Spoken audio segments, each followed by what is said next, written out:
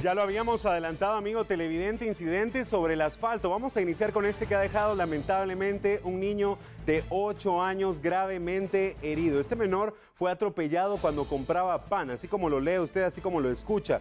Esto ocurrió a la altura del kilómetro 60.5 de la ruta que conduce a Barberena hacia Nueva Santa Rosa y deja a este menor gravemente herido. Se tiene conocimiento que sus padres lo habían enviado a comprar pan solo de 8 años en horas de la noche, cuando se encontraba comprando pan en el vehículo que justamente vende este tipo de comida, otro vehículo llega e impacta en este lugar. El niño se lleva la peor parte, presenta fracturas expuestas y ha sido rápidamente ingresado al hospital de Santa Rosa gracias a los bomberos voluntarios que rápidamente han llegado a este lugar, pero hablamos de una negligencia total por parte de los padres de familia en este caso.